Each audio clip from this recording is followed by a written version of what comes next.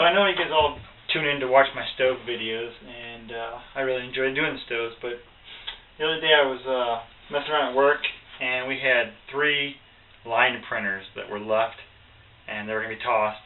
So I got online because I saw some stuff where you can use a stepper motor to make a CNC lathe. Now, I'm not sure to what degree I'm going to take this, but I thought I'd give it a try. So I have um, couple of these stepper motors. One,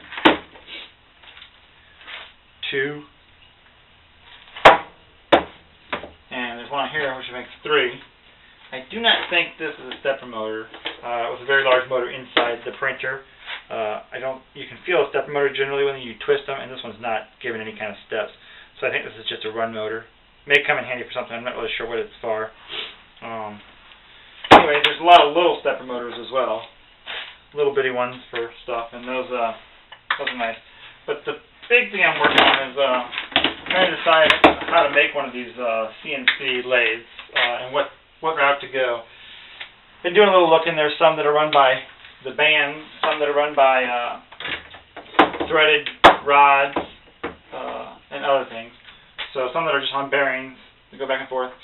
Anyways, I thought I'd start off with the obviously the piece that I got from the printer that was uh if you look here you can see that it has a cartridge that goes back and forth for printing and that is a stepper motor in there run by that one there so that lets me uh, control left to right are an x-axis. So I was thinking maybe bolt a board down to this, uh, frame this out somehow and hold on to it, bolt a board onto here, and that would give me my x my x-axis. And then I figured I would work on the next step, which would be, you know, one over on this side, running this way, giving me uh, my y-axis going this way. Obviously, the motor wouldn't move. The uh, either band or whatever I connect it to would move. Uh, this band actually is made for this, and it runs this way. And it ran with, uh, I have the other part here, and that ran like that. So potentially I could attach that to a cartridge of some kind or carriage, and run it the y-axis, give me my x-y axis. Obviously there's some uh, controller boards that have to be built for these. I'm not sure how those work. Uh, I got to do a lot of research on this and see how these things work, these stepper motors. Uh, currently, I have, for you guys out there that might know something about these, I have a Type 23LM C210 G3V uh, Mine B company.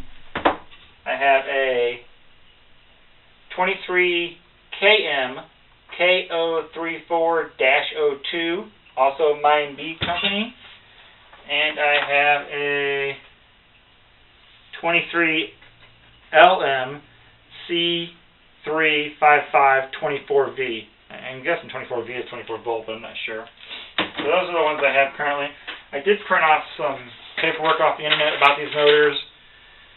Uh, I went to the MindB, MindBia, I'm not really sure how it's pronounced, the site, and it gives you all the uh, torque information and speed and all that.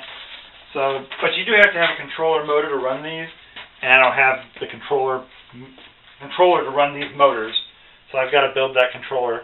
These are all four-wire uh, stepper motors, and I have three more of these at work. Actually, I have um, these. These two? No, I have. Hold on a second. Let me see which one I have. I have three more of these at work. I can't remember which ones I have. So anyways, a couple more of those at work. I actually still have to take the piece of equipment apart to get to them. So I don't have them yet. Uh, I still have the line printer, so I got to tear that apart and get those parts out. And then I'm gonna try and build this. And I don't know, you know what I'm gonna use for the uh, the router or whatever you want to call it, the router or the the uh, RotoZip or what. I have one of each. I have a router. It's a Sears router. It's an old one. I don't think it has enough torque to it to work anything. I also have a RotoZip uh, Dremel type tool, which could bolt in. So I've been doing a little bit of looking on the internet on this, and this is going to be one of my hobbies. And I'm not saying I'm going to get it done anytime soon, but I am going to try and play with this. So if anybody's ever done anything like this, or anybody knows anything about these, you know, comment below. Let me know some good links maybe to look at for this kind of stuff. Uh, and it's going to be a side hobby, so I'm not going to work on it real quick. Uh, I know there's a lot of research involved in it ahead of time, but just something else I want to try and get involved in a little bit. All right, that's all I want to show you is what I'm up to here. Um, hopefully I can get this thing running.